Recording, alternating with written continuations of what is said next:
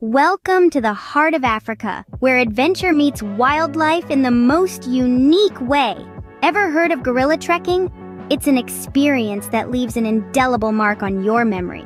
In the east of Africa, Uganda, Rwanda, and DR Congo are the hotspots for this thrilling adventure. Two types of gorillas await your visit the lowland gorillas, found in Nigeria and Cameroon, and the mountain gorillas, nestled in Rwanda, DR Congo, and Uganda.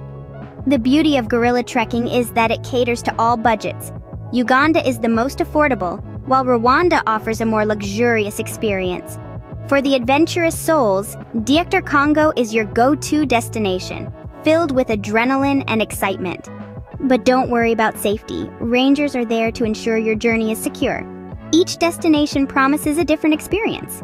Uganda might feel a bit crowded, Rwanda offers a high budget thrill, and DR Congo, well, it's the wild card. So, what do you think? Are you ready to embark on this thrilling adventure into the heart of Africa? And don't forget to subscribe for more exciting journeys around the globe.